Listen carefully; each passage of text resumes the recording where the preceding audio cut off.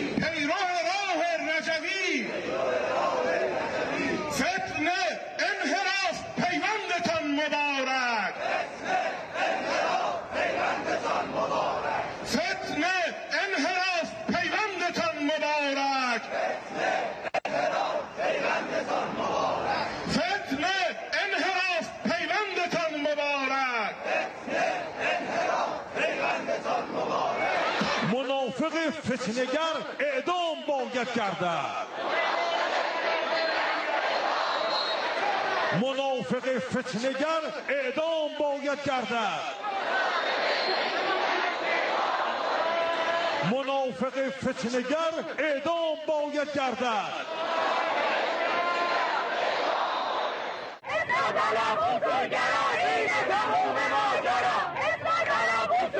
آتش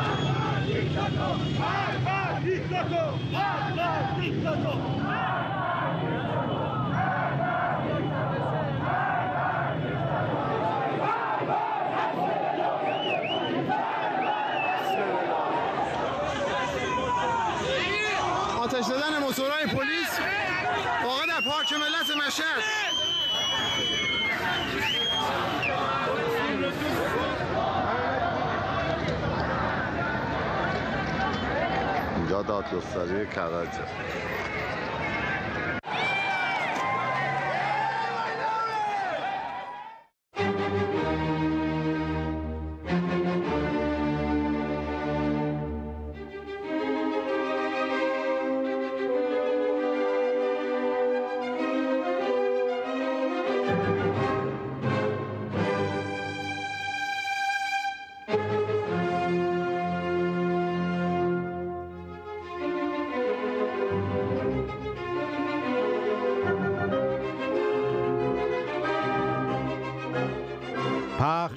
در پایان اخبار.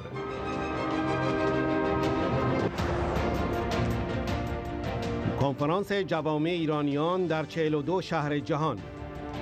سخنرانی لورد آلاکیا عضو مجلس اعیان و معاون حزب لیبرال دموکرات انگلستان. در دنیایی مملو از تروریسم و وقایع ناراحت کننده که کشورهای بسیاری را تحت شعا قرار داده است خانم رجبی. شما مثل نور راهنما هستید. آخوند علم الهدا امام جمعه و نماینده خامنه ای در مشهد. تکرار حرفهای ولی فقیه ارتجا و هشدار در مورد اینکه در سال 98 می‌خواهند قیامی مثل قیام آشورای 88 برپا کنند. فتنه 88 گذشت. نه سال هم از او سپری شد. اما اونی که مهم هست برای ما فتنه 98 است که در سال دهم فتنه 88 است. مقام معظم رهبری در بعض از فرمایشاتشون اخیرا فرمودن که استکبار جهانی و دشمن در سال 97 که الان هست داره یه زمین سازی ها و زمین چینی هایی می کند برای فتنه سال 98 یعنی دشمن در صدد است. در سال 98 فتنه ای از نوع فتنه سال 88 ایجاد کند. و از الان هم مشغول زمین سازی برای اون فتنه است. جامع بازار ولایت فقیه در تهران. سوز و گداز و ترس و وحشت نظام از خطر قیام و مجاهدین. حسارات پاسدار سفار هرندی وزیر پیشین ارشاد حکومت آخوندی.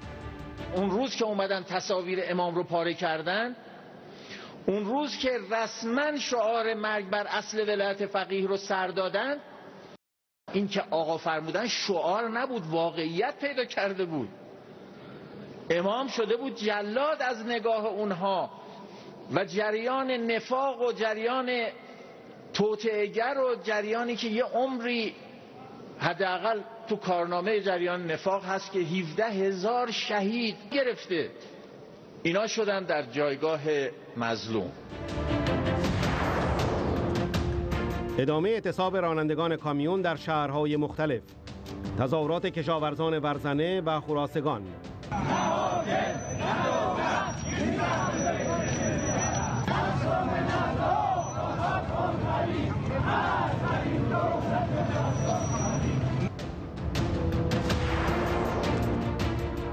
گرامی داشت شماری از شهیدان قیام در سالگرد شهادتشان در توی سرکان و درود. ترس و غیز رژیم از سفر غافلگیرانه رئیس جمهور آمریکا به عراق. بی او به حکومت دست نشانده آخوندها و تاکید رئیس جمهور آمریکا بر اینکه برخلاف سوریه آمریکا در عراق که آخوندها در کمال وقاحت آن را حیات خلبت خود می‌دانند میماند. سخنگوی وزارت خارجه رژیم. سفر ترام به عراق خارج از عرف دیپلماتیک و بی احترامی به حاکمیت این کشور بوده است. احزار زنگنه وزیر نفت رژیم به مجلس ارتجا به خاطر توقف عرضه نفت در بورس سیاست گازی و رشوه در قرارداد با توتال. جنگ و جدال باندهای حکومتی در حراس از پیامدهای فساد حکومتی و بحران اقتصادی. اعتراف پاسار علی لاریجانی به اوضاع انفجاری جامعه و اظهارات یک عضو مجلس ارتجا.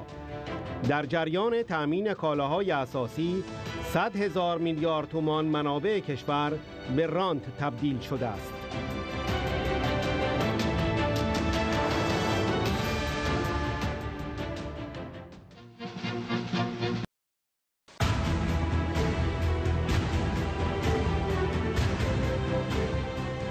روز جمعه هفتم دیماه هفتمین روز اعتصاب کامیونداران در شهرهای مختلف ادامه یافت.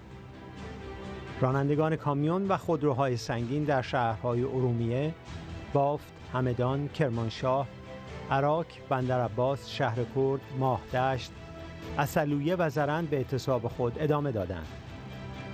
اعتصاب کامیونداران تا کنون در 51 شهر از 25 استان گسترش یافته است. پایانه بندرعباس متاسفانه پارکینگ مملو از ماشین سالن اعلانبار تقریبا باری داخلش خونده نمیشه.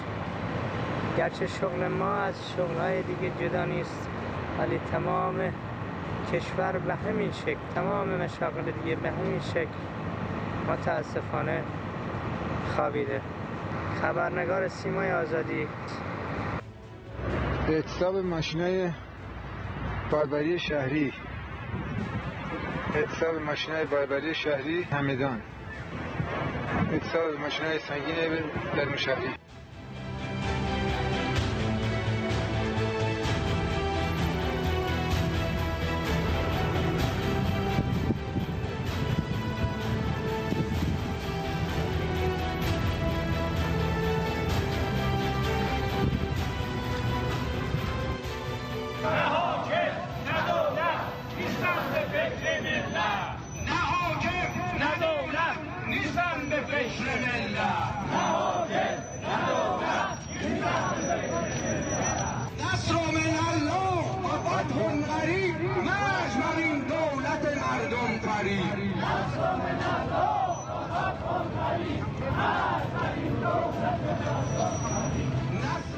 کشاورزان ورزنه روز جمعه هفته دیما به منظور گرفتن حقابهشان برای هفتمین روز به تجمع و تظاهرات خود در خیابانهای شهر ادامه دادند. در این تظاهرات اعتراضی کشاورزان خراسان نیز حضور داشتند.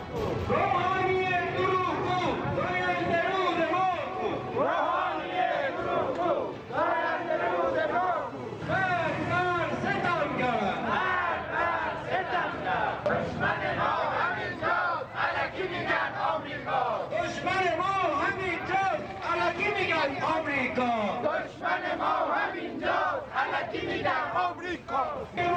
رنگ ما رنگ ما. رنگ ما. رنگ ما رنگ ما. دولت الجنگ ما. اسفانیه با غیرت. اتحاد اتحاد. اسفانیه با غیرت. اتحاد اتحاد. رنگ ما.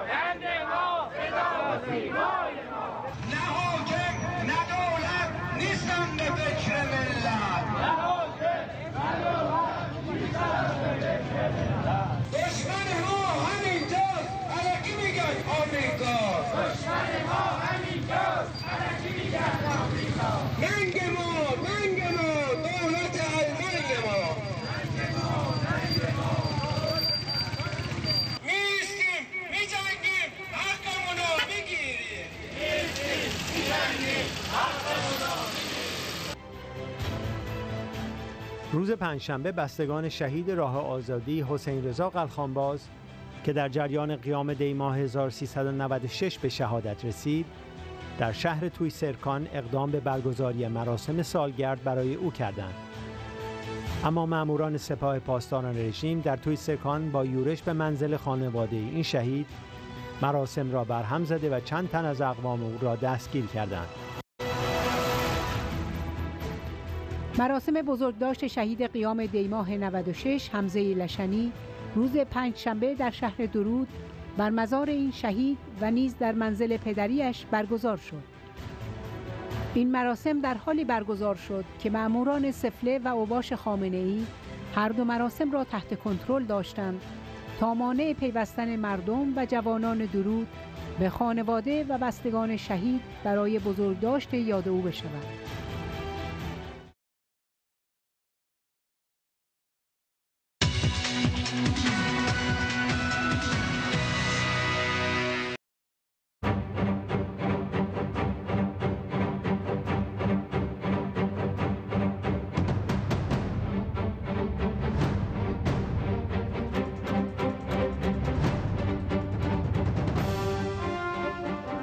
کنفرانس جوامع ایرانیان در 42 شهر جهان لورد دالاکیا در دنیای مملو از تروریسم و بقایع ناراحت کننده که کشورهای بسیاری را تحت شعا قرار داده است خانم رجبی شما مثل نور راهنما هستید. Rajavi, distinguished audience from the world politics, my good friends from London, let me first of all thank you for being present on this very important occasion. Last week, we celebrated the International Human Rights Day, and today's theme is appropriate to that celebration.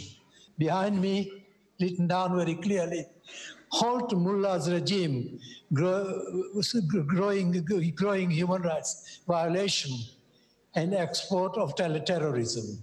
That is the slogan we are talking about. But before I start and making my little contribution, let me thank Mrs. Rajavi for her excellent address to the world audience. It's been a delight.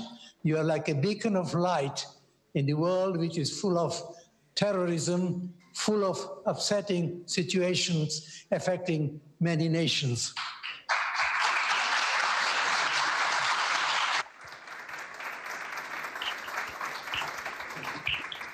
What we saw, what we saw in the contribution of Mrs. Rajavi was very simply the clear thoughts and values she attaches to what is right and what is proper in terms not only of Iranian politics, but in terms of what should be a civilized world talking about.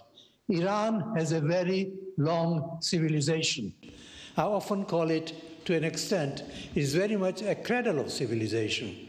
The values that it has stood by for thousands of years must not be allowed to be destroyed by the regimes of mullah and misguided politicians. That is unacceptable, and that is what we will not tolerate. I've been associated with this particular movement almost for the last about 20, 25 years. I want London to take a great pride because we were the body that fought in the judicial system in this country to make sure that the PMOI was no longer regarded as a proscribed movement, and the rest of the countries in various parts of the world followed that. I have been an advocate for a very long time that we have in this world an international criminal court they have been able to see the action that Iranian government has taken in relation to its own people, in, in relation to the, the action they have taken about terrorist activities in various parts of the Western world where Iranian movement has sprung up. There are people who threaten, people who are working as spies, reporting on the work that is being done by freedom movement about Iran and that is unacceptable.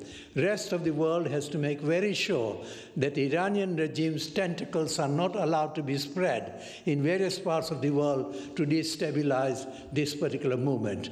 I think it's right and proper that we condemn those particular situation, but say to the International Criminal Court, you know the faces of those people who are perpetrating this crime, not only in Iran, but in the rest of the world. These are the people has to be brought to real trials and being, being, being dealt with in terms of laws in this country and laws with the international community, International Criminal Court.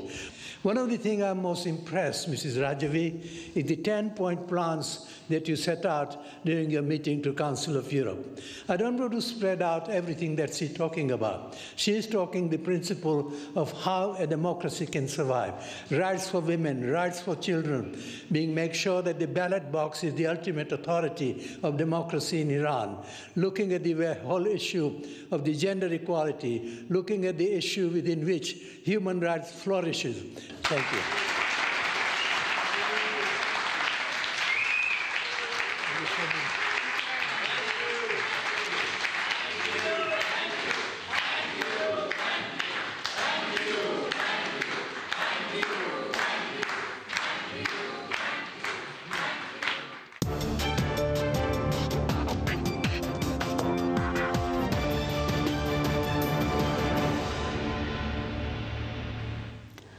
سلام خبرهای این ساعت را ادامه می دهیم. آخوند علم الهدا امام جمعه و نماینده خامنه ای در مشهد در جمعه بازار حکومتی با تکرار حرفهای ولی فقی درباره خطر قیام و سرنگونی و چشمانداز تیروتار نظام آخوندی در ماههای پایان سال 97 و سال 98 و در سوز گداز از قرار گرفتن رژیم در لبه پرتگاه و هدف قرار گرفتن ولایت فقیه در قیام مردم تهران در آشورای سال 88 هشدار داد که در سال 98 هم می‌خواهند قیامی مثل قیام آشورای 88 برپا کنند. فتنه 88 گذشت. نه سال هم از او سپری شد. اما اونی که مهم هست برای ما فتنه 98 است که در سال دهم فتنه 88 است. مقام معظم رهبری در بعض از فرمایشاتشون اخیرا فرمودن که استکبار جهانی و دشمن در سال 97 که الان هست داره یه زمین سازی ها و زمین چینی هایی می کند برای فتنه سال 98 یعنی دشمن در صدد است. در سال 98 فتنه ای از نوع فتنه سال 88 ایجاد کند و از الان هم مشغول زمین سازی برای اون فتنه است. خصوصیت اول اون عبارت بود از اینکه در حرکت فتنگرانش رهبری و ولایت به عنوان ستون خیمه این نظام رو هدف گرفت. و دقیقا برادران فتنه 98 هم همینه. یعنی همون جوری که در فتنه 88 دشمن در یک جریانی از اصل اون کسی که جریان به او مربوط بود عبور کرد و اومد مقابل رهبری ایستاد. در فتنه 98 هم همینه. یعنی در فتنه 98 نقشه دشمن اینه.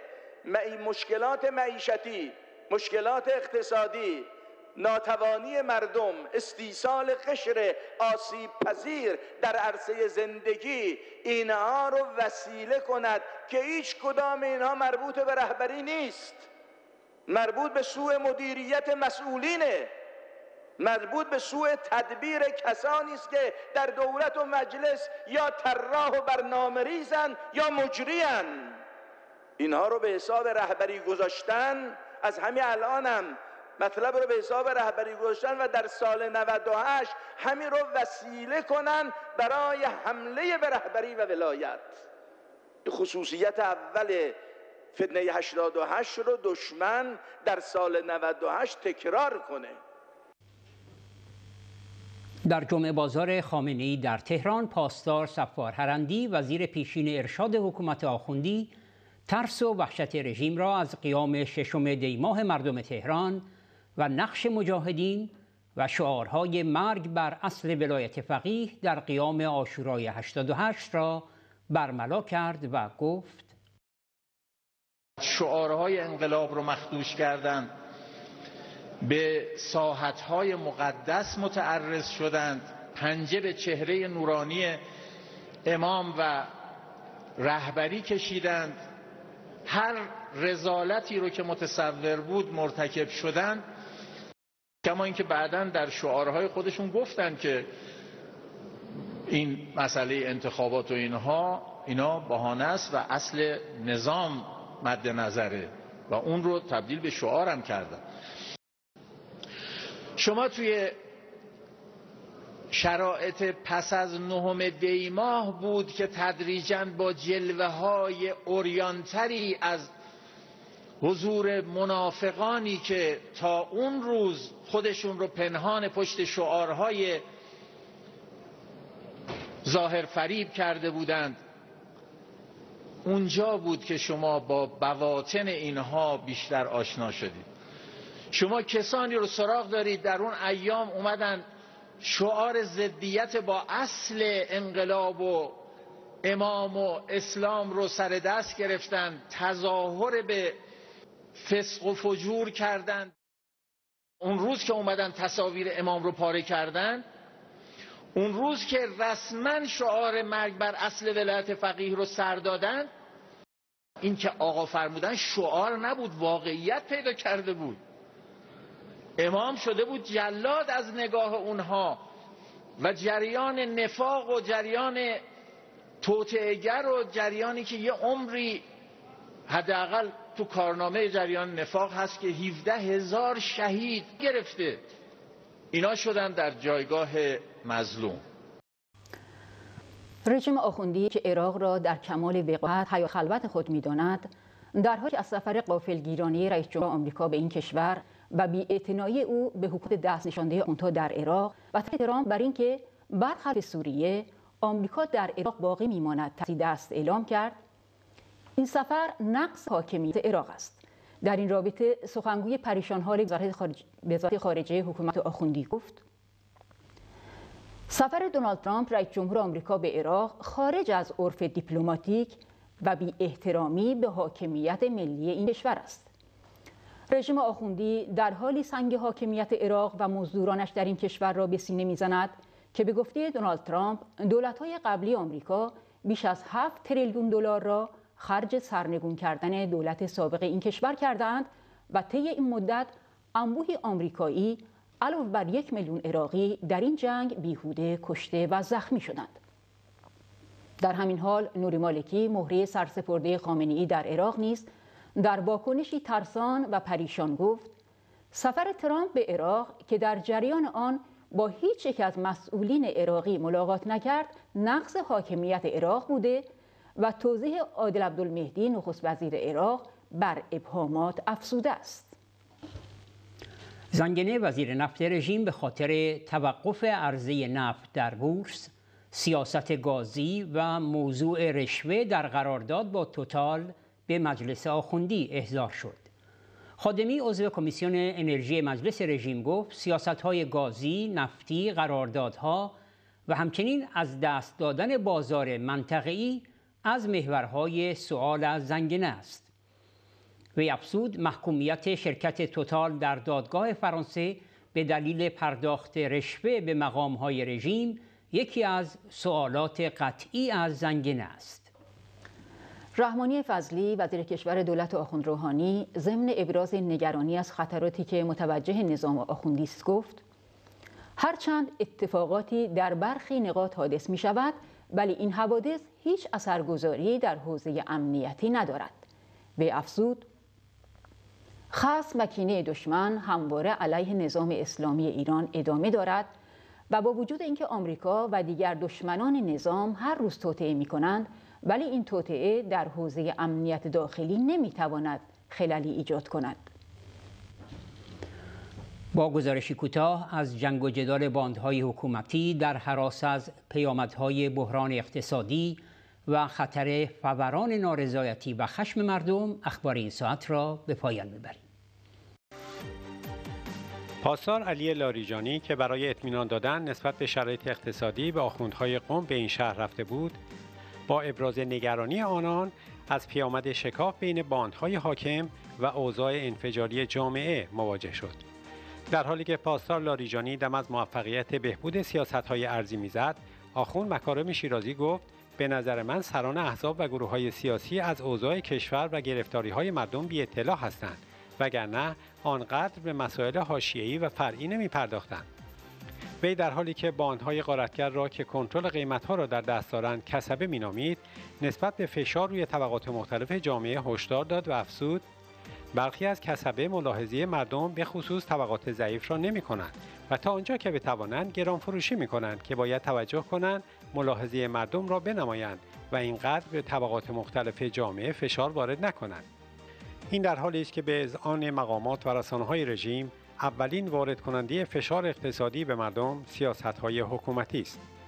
پور ابراهیمی عضو مجلس ارتجاع روز هفتم دی از رانت 70 درصدی در توزیع کالاهای اساسی خبر داد و افسود دولت در سال 97 ارز 4200 تومان به کالاهای اساسی اختصاص داده است.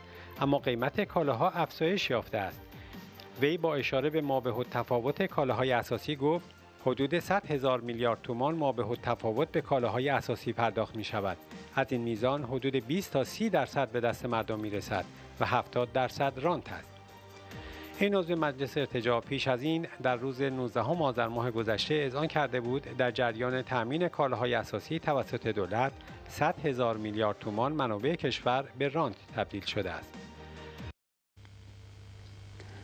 بینندگان گرامی در پایان اخبار توجه شما را به ویژه برنامه سالگرد قیام دی ماه 1396 جلب می‌کنیم. خدا نگهدار.